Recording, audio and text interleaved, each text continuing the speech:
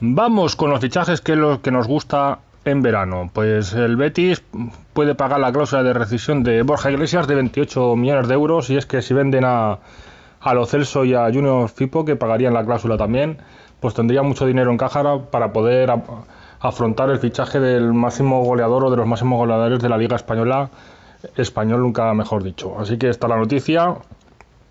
Su entrenador sería Rubí, o sea, el mismo que ha tenido este año en español, donde han acabado en Europa League. Yo creo que han tenido también un poco de suerte. Y es curioso que tanto el entrenador como la estrella del equipo pues hayan salido rumbo al Betis. Y eso que ellos están clasificados en Europa League y, y el, y el Betis haya quedado un décimo.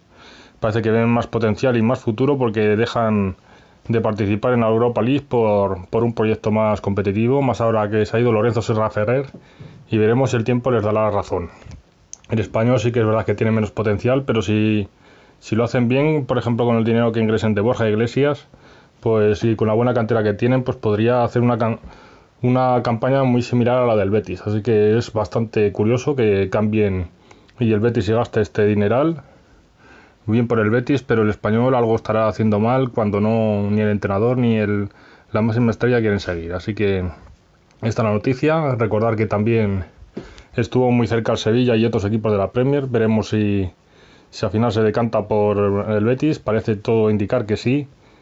Y este sería el rumbo de Boja Iglesias, que recordar que hace dos o tres años estaba en segunda B con el Celta B. Luego pasó por el Zaragoza, donde marcó 22 goles y este año en el español en su debut en primera lo ha hecho muy bien. Un saludo especialmente a los béticos que seréis lo que más veis este vídeo.